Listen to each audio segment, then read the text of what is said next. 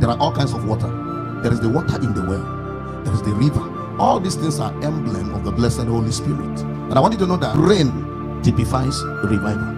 Rivers typify sustainability of revival. Wells typify the echoes of salvation as we go from places to places, sinking the presence of the Holy Spirit. Rainfall is important. We need to call down the rain. I see the difference between rivers and rain is that rain comes in different seasons, but rivers are permanent. So when you call down the rain, it will not be at the expense of the river in your own bed.